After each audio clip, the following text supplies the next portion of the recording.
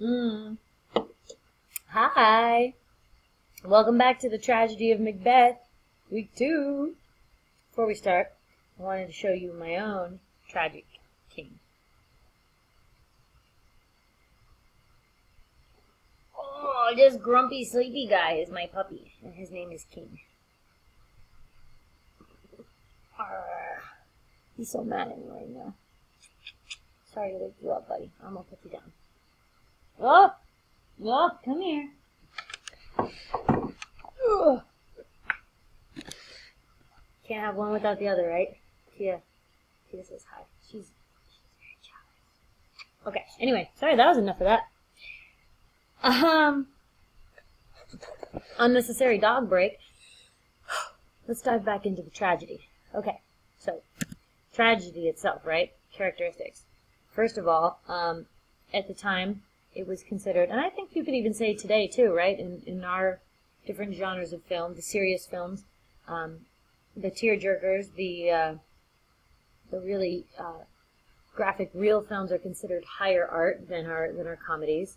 Um, part of that is because of the idea of catharsis, uh, which is the purification and uh, pur- purgation of, of emotions through art, uh, particularly pity and fear.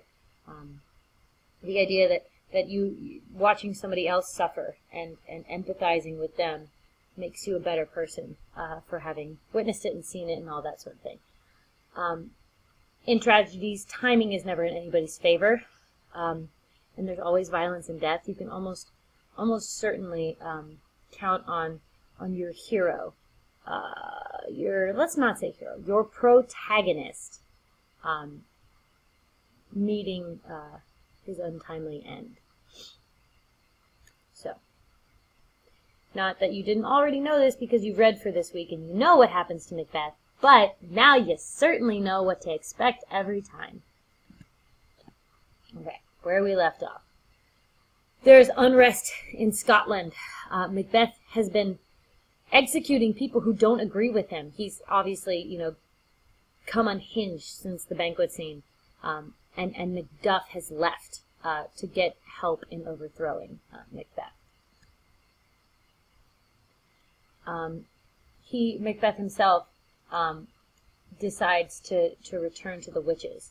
He uh, he wants to he wants new um, you know what what they got in the past what he got in the past isn't enough. Now he wants new um, premonitions, new predictions from them. He wants answers. Um, so uh, if the first set of, of you know, thir- the three premonitions by the witches set the tone for the first half of the play, you know, the second set um, sets the tone for Act Four and onward.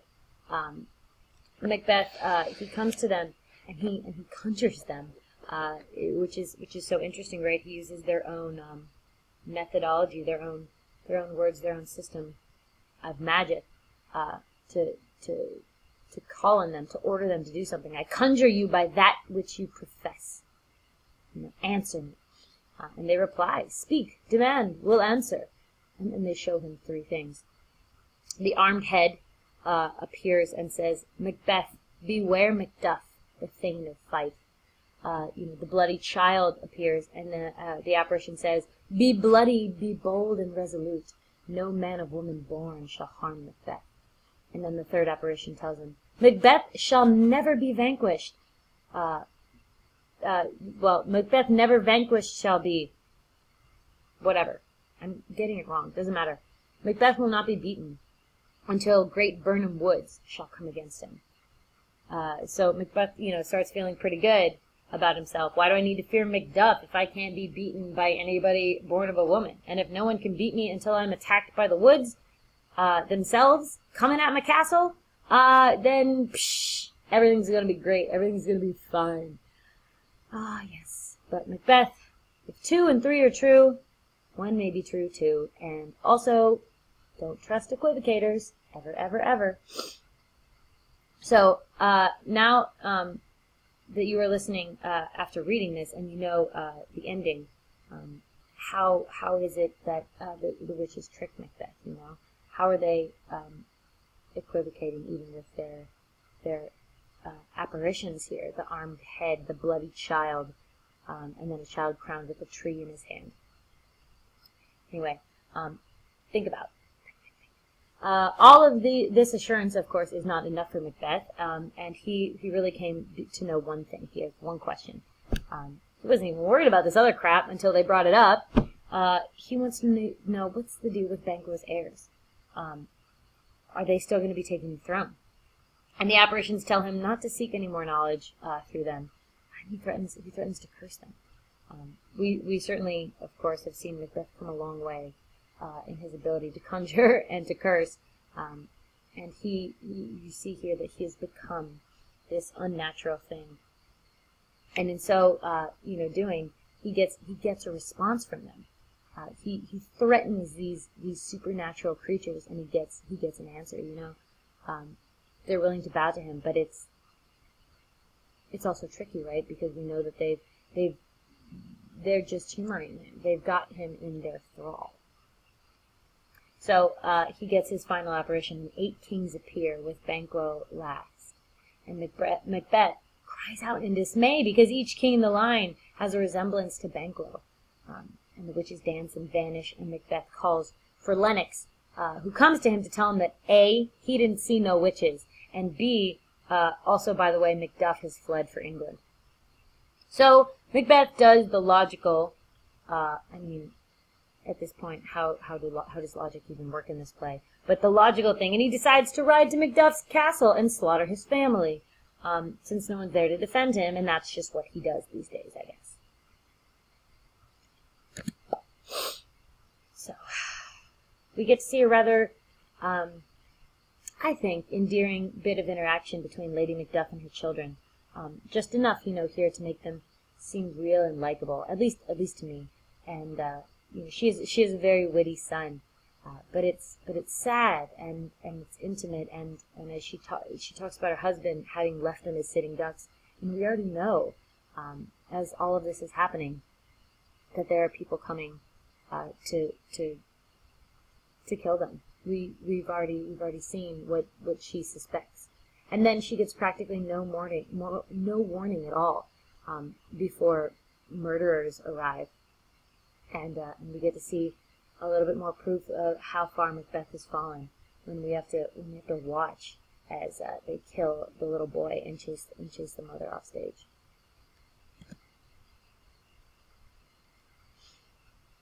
Uh, so here Macbeth, or I'm sorry, Macduff finds finds Malcolm and um, tries to convince him to come back to Scotland uh, with him to oppose Macbeth and to take over for, uh, you know, as king for his father, possibly, you know, as as uh, the original heir to the throne before he fled uh, after his father's death.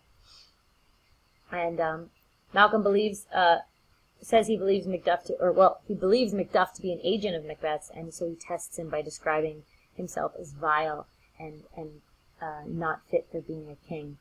And um, to just to see to see what Macduff's response would be, and uh, and, and and sorry, ooh, got distracted. Um, and uh, but Malcolm gets the honest response from Macduff that he wanted, so he reveals himself uh, to have been feigning. In fact, you know, he shares news that, that England has already lent him troops, and uh, together they might stage uh, an, an, attack that would that would topple Macbeth. So they've both been kind of planning the same thing, and now they They've come together and they're going to do it together. Um, but then Ross arrives uh, to tell Macduff what we have already seen, that uh, his entire household has been slaughtered. There's this great line here where, Macduff learns this, um, um, and, and he hears that Macbeth has killed his children, and Ross says, Be comforted. Let us make medicines of our great revenge to curse this deadly grief. And Macduff continues his own rant and says, he has no children.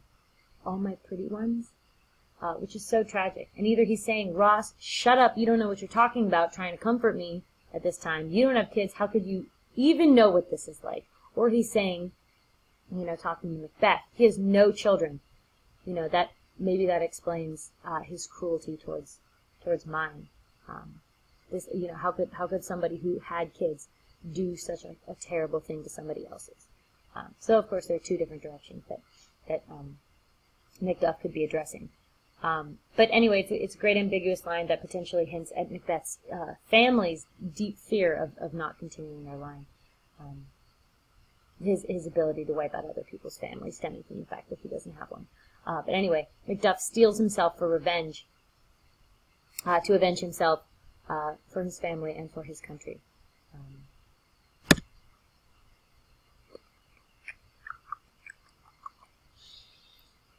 act 5, Scene 1, we're in the final act of the play. Uh, here we see the toll that uh, guilt. Oh, this is cutting out my. Alright, fine. It says Act 5, Scene 1, Lady Macduff's Madness. There, now you know what the whole thing says. Um, uh, we could see the, the toll that the guilt is having on Lady Macbeth. She and her husband haven't uh, interacted since the banquet that we that we saw, that you know, not that we've seen anyway. Um, and they're they're each slipping further and further away from each other. Uh, hers is manifesting in sleepwalking, uh, you know, more of that not being able to sleep. Uh, and the doctor decides that she needs spiritual guidance rather than medical aid. Uh, he says, "Unnatural deeds do breed unnatural troubles." Uh, that that line right there could you know, certainly sum up the whole play, right?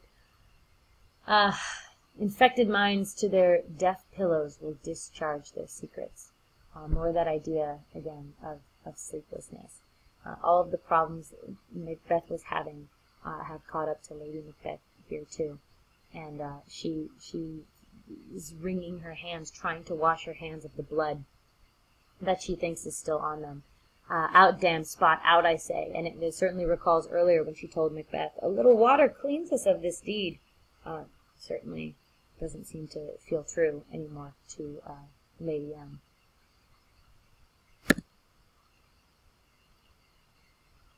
So at this point, the action, you know, starts to speed up. Things start to catch up um, very, very quickly. Things, things are, things are happening. Things are moving. Um, we see briefly in 5-2 that another Scottish Scottish force marches uh, towards Birnam Woods to join Macduff in his army. Uh, in 5-3, uh, reports of this are brought to Macbeth, uh, and he assuages his own doubts by thinking about the apparitions and saying, No man born of woman can harm Macbeth, and that Birnam Woods itself would have to uh, march towards my castle to defeat me. Um, but, but he's also anxious about, about uh, Lady Macbeth's condition.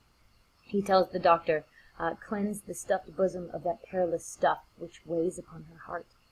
Uh, and the doctor's like, um, therein the patient must minister uh, to himself, which is fantastic, right? Because the doctor did not say herself, the doctor said himself, indicating that he's addressing Macbeth, you know, um, who might be, I mean, certainly Lady Macbeth has all of her own troubles and doubts and guilt and everything, but M Macbeth um, might be projecting his own fears onto his wife, is what the doctor is kind of hinting at. Uh, um, you know, um, but perhaps, perhaps at the same time, Macbeth thinks that he's cured himself and he's doing just fine. He's got no problems.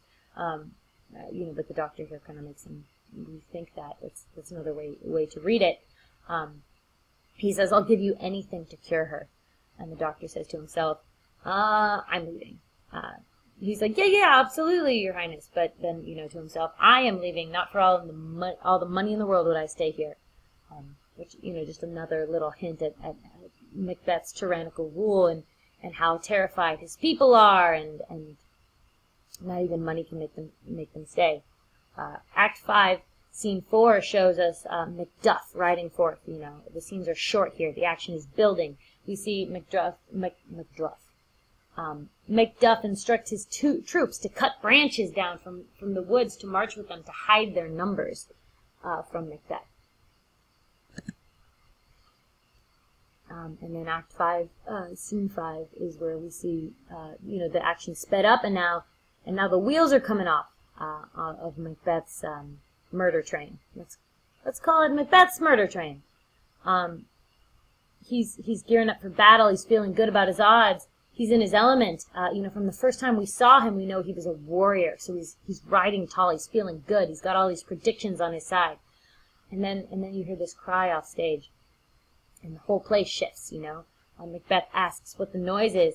Um, uh, says he's almost forgotten the taste of fears. Think, you know, that cry, thinking about that, that sound of of fright.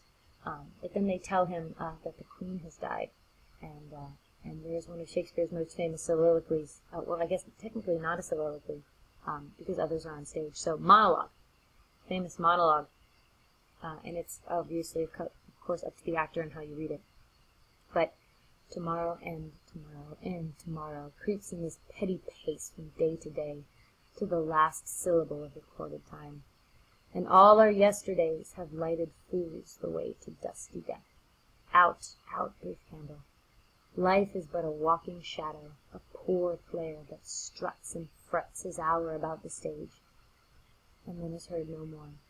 It is a tale told by an idiot, full of sound and fury, signifying nothing.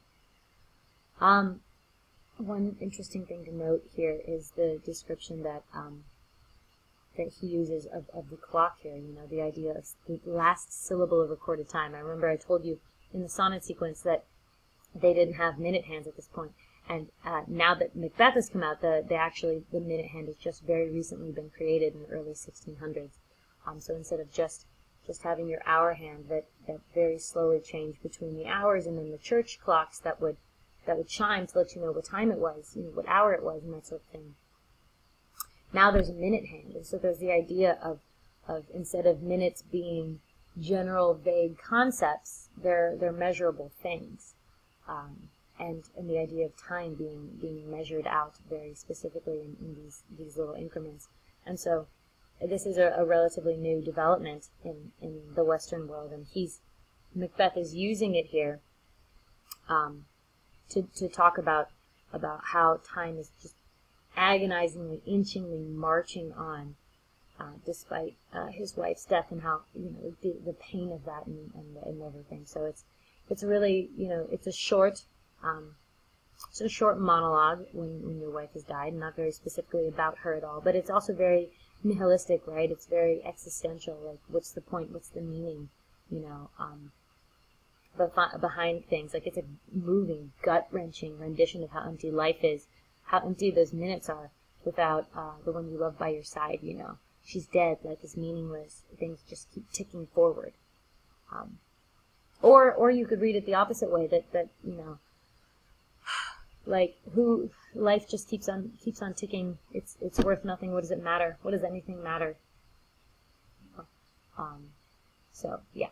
Also, I'm, again, I'm sorry that the frame of this is cutting off the edge of my of my PowerPoint here, so I um, I apologize that you can't read that perfectly, but I know it's in your books uh, or or your your sources that you're getting you're getting um, the plays from, so I know that you can turn to it now if you if you so wanted to take notes or, or anything. Anyway, the pace of battle does not allow him uh, very much time to grieve uh, because right on the heels of this revelation about his wife and, and his his tribute to that death, however you want to take it. A messenger arrives. Whoops!